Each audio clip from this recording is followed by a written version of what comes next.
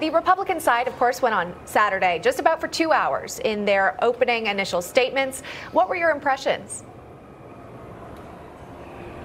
Oh, I thought they did an excellent job of laying out in a very short time that the House has not proved their case, that the president did nothing wrong and certainly nothing impeachable. They didn't even come close to laying out a good case against impeachment. And they pointed out over and over again the other side of the story, meaning what the Democrats didn't tell the senators. I thought they did an excellent job.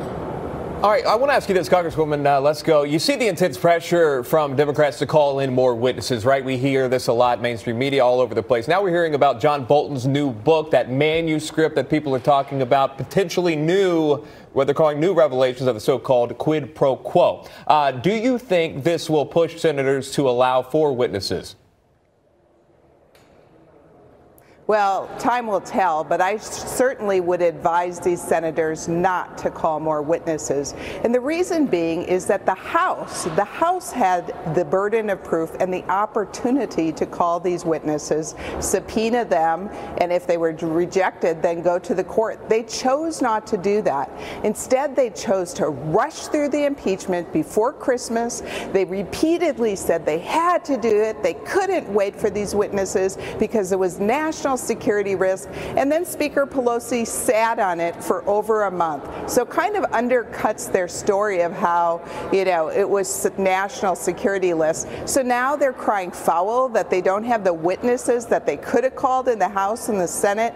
It's just, this is political game. And this whole thing about Bolton, uh, we haven't even seen this draft book. And so to leak it out at this timing, it's all political. In fact, this whole thing is political. It has nothing to do with the truth. It has nothing to do with the Ukrainian call. If they got their witnesses and all of the witnesses were in favor of Trump, they still would call for impeachment. I'm totally convinced of it what about the Americans tuning in who, who are watching these opening statements play out and they want to have all of the facts presented? Would you argue that they would be uh, slighted from all of the information without having witnesses? No, because the House should have called the witnesses. So if people are watching, they need to realize that it was the House's job to prove the case. They're the ones that's supposed to call the witnesses. And in fact, they blocked, they blocked Republican witnesses in the House, the Democrats did. We couldn't get any Republican witness that wasn't already on the Democrat witness list. And we asked, they rejected. And in fact, the president had no opportunity in the House until it hit Judiciary Committee in the last seven days out of 78 days to even go to the hearings, to even ask witnesses questions. And by then it was too late because the only witnesses that were called in Judiciary were some lawyers that had opinions about impeachment what, what's the president going to ask? What's your opinion? I mean, this has been a totally unfair process. And now for the, the same House members to cry foul in the, in, the, in the Senate for saying you should do what we didn't do is totally hypocritical, laughable. Last question for you, Congresswoman. Uh, when, in your prediction, do you see this trial ending? I sure hope it ends this week because I don't think any further witnesses need to be called. The House didn't even come close to proving their case.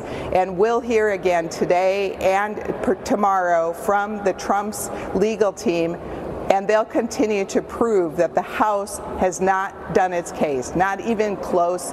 This is a political hit job to influence the 2020 election, and that's all this is. And the reason that I know that is because six out of the seven Democrat impeachment managers already supported impeachment before the Ukrainian call. So they wanted impeachment no matter what it was, no matter what witnesses they hear from.